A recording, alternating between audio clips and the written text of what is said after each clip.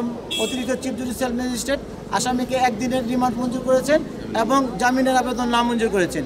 এই মামলায় এই আসামি, আজকের এই আসামি, দুই নম্বর আসামি, তাদের নির্দেশে এই ঘটনাগুলি ঘটেছে। বৈষম্য ছাত্রছাত্রী বিরোধী ছাত্র আন্দোলনের বৈষম্য আন্দোলনের সময় এরা দূর থেকে অর্থায়ন করেছেন এবং বিভিন্ন সময় অস্ত্র দিয়ে, লোকজন দিয়ে তাদের এই আসামি বৈষম্য ছাত্র আন্দোলনের উপর আক্রমণ করতে সহায়তা করেছেন। সেই সহায়তার অপরাধে আজকে ওনাকে গ্রেপ্তার করে নিয়ে আসছেন। আমরা আশা করছি তার কাছ থেকে গুরুত্বপূর্ণ তথ্য পাওয়া যাবে। ফতুল্লা থানার একটি ভাঙচুর এবং জঘন্যভাবে জখমের মামলায় শিবগঞ্জ নরসিংদী জেলার শিবগঞ্জ শিবপুর। সরি শিবপুর উপজেলা জেলার সংসদ সদস্য সিরাজুল ইসলাম মোল্লা সাহেবকে গ্রেপ্তার করে আয়ু পাঠিয়েছেন। পাঁচ দিনের রিমান্ড আবেদন করে বিজ্ঞ আদালত একদিনের রিমান্ড মঞ্জুর করছেন রিমান্ড প্রাপ্ত হয়ে আয়ু আসামিকে জিজ্ঞাসাবাদের নিমিত্তে থানায় নিয়ে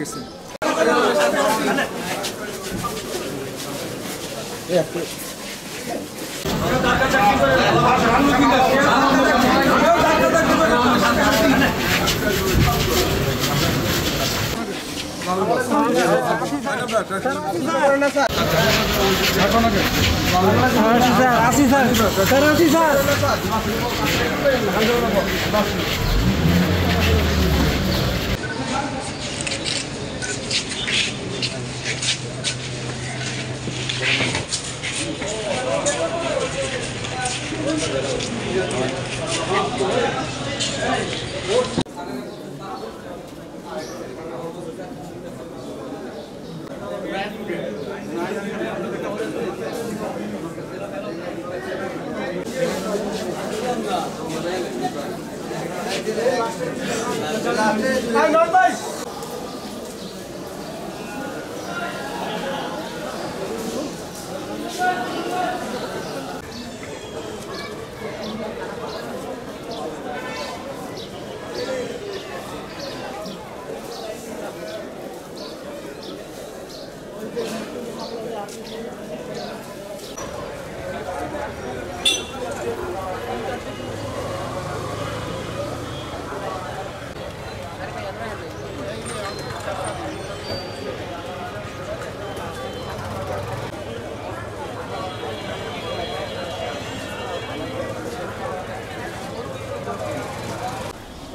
Bruno Nunes.